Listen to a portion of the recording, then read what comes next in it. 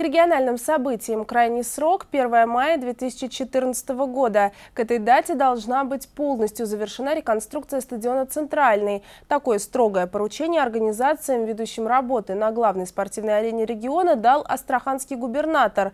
Александр Жилкин проинспектировал ход реконструкции объекта и остался доволен увиденным. Новый газон центрального требует особого ухода. Для любой европейской арены такая машина для прочесывания травы – обычное дело. Для Астрахани – революция и эволюция. Впрочем, подобные приятные новшества здесь на каждом шагу. Стадион меняет облик прямо на глазах. Главная чаша практически готова. Идет монтаж э, конструкции того, то есть литокраска. Через э, дней 10 смонтируем того и будем делать пробный запуск. Значит, параллельно идет работа по системе освещения центрального стадиона, то есть идет наладка всей энергосистемы стадиона. Сейчас на объектах трудятся посменно две бригады по 60 человек. Согласно отчетам строителей, работы на основной поляне должны завершиться к ноябрю. А вот по запасному полю работы еще достаточно. Газон с подогревом уложен, но электрика и табло пока в пути, а трибуны на 2000 зрителей на стадии фундамента. Однако есть уже что с чем сравнивать. Вот начало июля, а это сегодняшний день. Как говорится, найдите 10 отличий.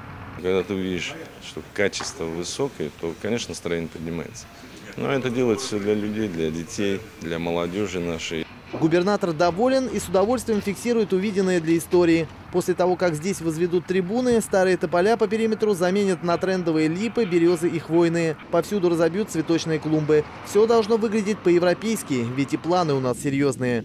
Маленькую тайну скажу, что все-таки сегодня Астрахань рассматривают как базу э, к чемпионату мира в 2018 году. Я думаю, что многие команды захотят именно тренироваться, жить и приезжать сюда, как домашнее поле использовать. Уже сейчас понятно, что первоначальная проектная стоимость недостаточна. По ходу реконструкции пришлось проводить дополнительные работы и даже строить новые объекты. Окончательная цена вопроса – 407 миллионов 940 тысяч рублей.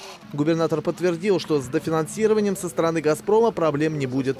Еще 130 миллионов это небольшие деньги для такого большого, нужного объекта для жителей Астраханской области города За расходом средств ведется самый серьезный контроль, как представителями акционерного общества «Газпром», так и лично главой региона. Наконец апреля следующего года запланирован визит в Астрахань Алексея Миллера. Поэтому, заявил губернатор, крайний срок сдачи объекта 1 мая 2014 года. Александр Смольков, Ярослав Попов, телеканал «7+.»